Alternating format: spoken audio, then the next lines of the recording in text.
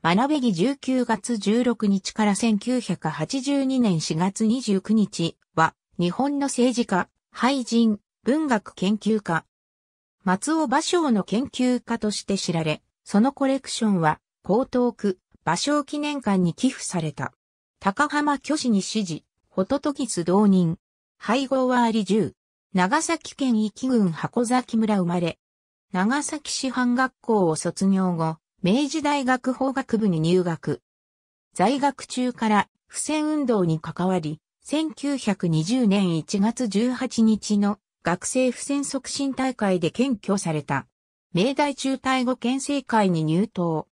六十数回の公金を受けながら1930年、旧東京4区から立憲民政党公認で第17回衆議院議員総選挙に立候補し初、当選、戦前は通算5回の当選を果たす。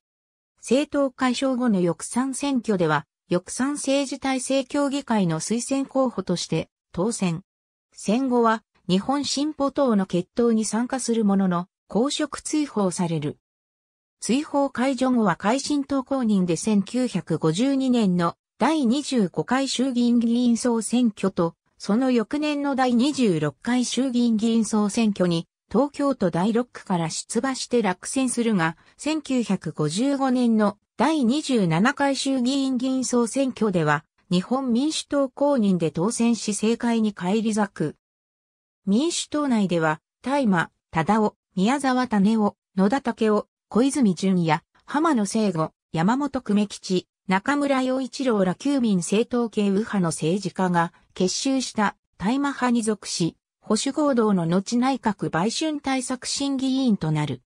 大麻の死後、他の大麻派のメンバーと共に岸派に合流。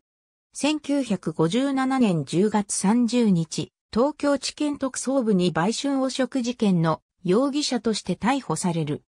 翌1958年9月9日に東京地裁で有罪の判決。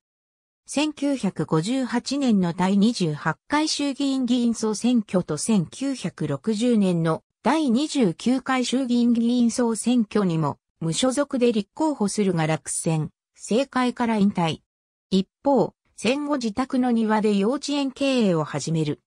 園の前には銅像が立ち、そこには同級純正スポーツ科の父との岸信介による記号がある。これは1955年にビリヤードを風俗営業法的要対障害とし、健全なスポーツへ転化することに尽力した功績を称えたものである。なお、記事岸足部町瀬戸浦の小児公園にも銅像がある。